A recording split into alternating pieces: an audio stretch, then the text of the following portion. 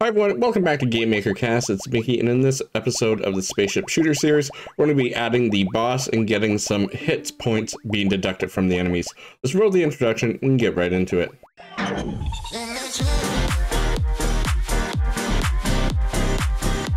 The very first thing we want to do is when we shoot an enemy, we want to make sure that we take away some hit points. So let's load up the object enemy, which is our parent.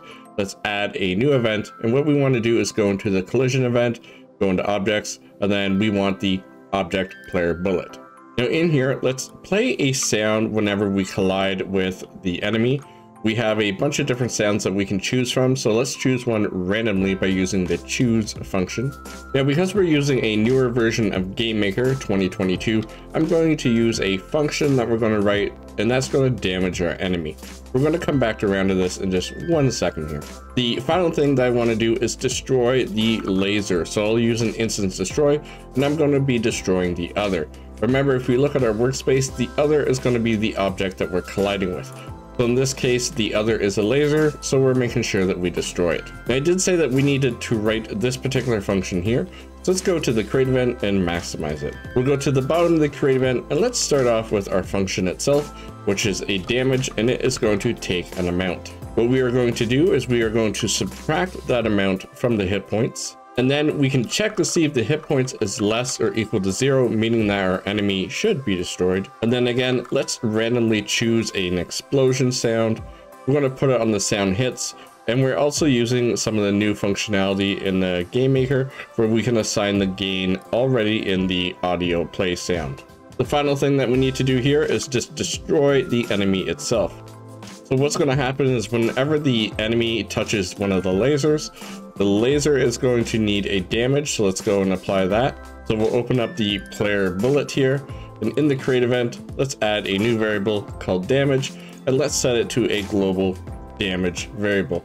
This is coming from the initialization object, and this is just set up in case we have power-ups or something like that. So back to the enemy, when we pass the damage in, it's going to come to the create event and run this function, and it's going to decide whether or not to destroy the actual enemy itself. So let's go ahead and let's test this out quickly. Let's destroy a few enemies in our wave.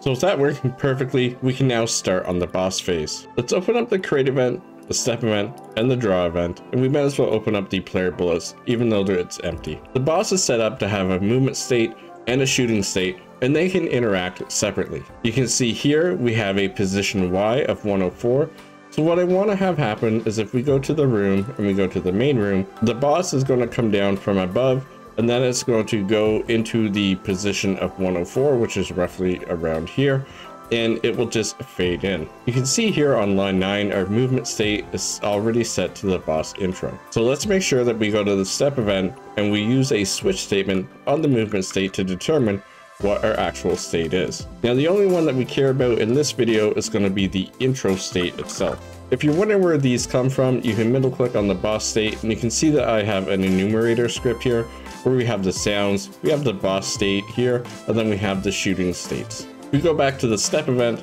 if we are in the intro state, what we want to do is have our Y position lerp to the position Y, which is our final position over time. Now to move to the next state, we can write a simple if statement basically saying if the current position minus the position we're going to is equal to zero, then we know that we can switch states. So that means that we'll set our movement state to phase one. Now let's close this and open up our spawner. Inside the spawner, click on the create event and maximize it. I'm to go ahead and I'm to get rid of all my items that I have here spawning in. And then I'm just to copy one of them and paste it below for the boss. The reason I'm doing this is because I don't want to have to go through all the different enemies while I'm waiting for the boss to come in. I'm to change the object that it needs to spawn into the boss and I'm going to set the number to 1. I want to set my Y position to something a little bit higher, like minus 256, and I'm going to set the X position to the middle of the room. Since we are only spawning in one boss, we don't need to add anything to the X and Y location.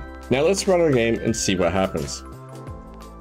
Then 5 seconds of moving around, we should have a boss come in and just slightly come down, and now we're in phase 1 and ready to go. I think this is a good spot to end this tutorial. We've added in some enemies being hit, we have shooting working, and the next part will be getting the boss phases to be shooting at us and actually damaging our ship. Thank you for watching the video. A special shout out to my Patreon supporters in no particular order. GameMaker Community, Jerica, Victor, Robert, Mary, David, Edward, Ashby, and Paul. If you like what you see on my channel, why not leave a like or even subscribe? If you're looking for more content, check out my Patreon site found in the description below. Thank you.